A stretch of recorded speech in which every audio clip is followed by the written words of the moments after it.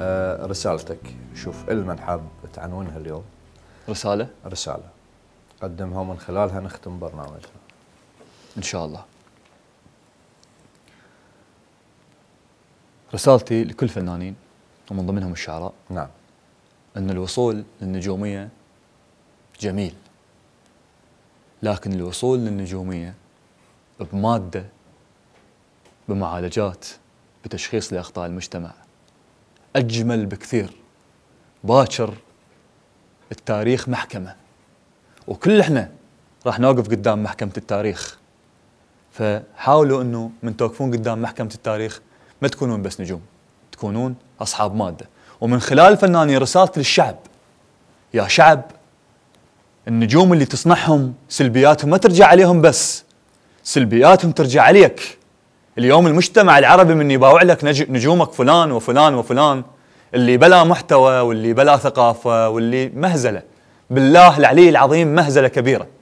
إنه نجومنا اليوم مثل يعني فهذه السلبيات ما ترجع بس على النجم ترى. هذه السلبيات ترجع عليك أنت ترجع عليك وعلى أولادك وعلى أحفادك وترجع على الكل ومن الشعب رسالة الإعلام. يا أصحاب الإعلام واصحاب المنصات أصحاب المحتوى الفارغ لا تجيبوهم. لا تدورون مشاهدات يعني كافي الموضوع صار أكبر من حجمه. المبدع ما يروح يدق باب القناة يقول لهم أنا أريد أطلع حاولوا تدورون على مناطق الجمال على المبدعين لأن صناع يعني اليوم صنع النجم يأثر هواي بثقافه المجتمع. وأني أريد أصنع نجم وأصنع من عنده أصنع مجتمع متسامح. وختاما إذا أكو دقيقة واحدة أو دقيقتين أنا أريد أسولف عن موضوع عليك انسالت في يوم شنو هذا الوشم اللي بيدي؟ أنا جيت ف... أسألك بس قلت خاف أحرجه. فدوا أروح لك فأكو من عنده رسالة أريد أوصلها من خلال هذا البرنامج بما أن الفقرة الأخيرة هي رسالة يعني. هذا الوشم مفردة سومرية تلفظ أمارجي تعني الحرية. عمر هذه المفردة 4500 سنة. هذه المفردة هي أقدم مفردة تشير للحرية بالكوكب. جميل. واني اتمنى أن تكون هذه المفردة شعار لجمهورية العراق. هذا الشعار اللي عابر للطائفة وللديانة وللون وللغات والعرق. هذا الشعار اللي ينتمي لعمق التاريخ لهذه الأرض وينتمي لحرية الإنسان فقط. وأنا مستاء جدا ومستغرب صراحة بأن شعار الجمهورية العراقية اليوم هو طائر العقاب. طائر العقاب.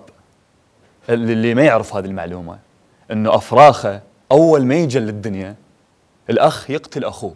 والأغرب من هذا إن الذكر والأنثى ما يتدخلن بحل هذا النزاع. ثاني من يقتل ويعيشن القاتل. فأنا اليوم أريد أبني مجتمع متسامح ومجتمع يحب الإنسان خاله الرمز مال جمهوريته طائر قاتل وأفراخه أول ما يجي للدنيا الأخ يقتل أخوه. وإن كان يتمتع بالشجاعة ويتمتع بالقوة وانه هو ما يأكل من فريسته وينقض من فوق من, من أعلى على على خصمه لكن بالأخير هو العائله يعني افراخ الأخ يقتل أخوه. فأنا اريد ابني مجتمع عراقي وهذه المفردة عراقية. والشعار مال الجمهوريه اليوم لازم يكون عراقي. هذا تنتمي. أتمنى هذه الرسالة تنوخذ على محمل الجد من الناس المختصه بهذا الموضوع. حياك. ألف تحية لك يا تحياتي لك أستاذ شاعر جميل جدا.